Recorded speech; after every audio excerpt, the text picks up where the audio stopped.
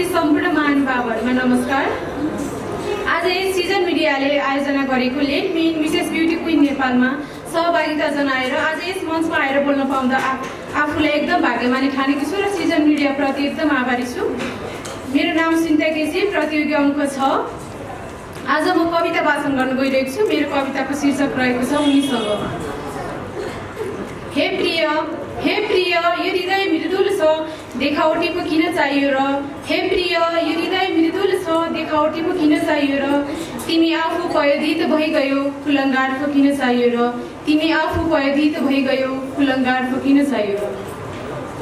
भर्ताको बस्य स्थल नै त घर हो भर्ताको बस्य स्थल नै त घर हो कृत्रिम महल पो किन चाहियो र? भर्ताको बस्य स्थल नै त घर हो कृत्रिम महल पो किन चाहियो र? यही नितम्ब घर शैल सैया नहो तन्नदार पो किन चाहियो र? यही नितम्ब घर शैल सैया नहो तन्नदार पो किन चाहियो र? मेरो कलम शक्तिशाली नै त छ मेरो कलम शक्तिशाली नै त छ मुडे बल पो किन चाहियो र? मणि मोती निर रत्न तिमी हौ धन दौलत किन चाहियो र?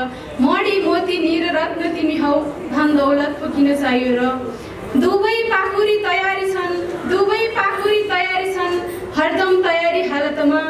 कामकाज गरी जिउलान सँगै आदिर हुन्छौ किन भगतमा? कामकाज गरी जिउलान सँगै आदिर हुन्छौ किन भगतमा?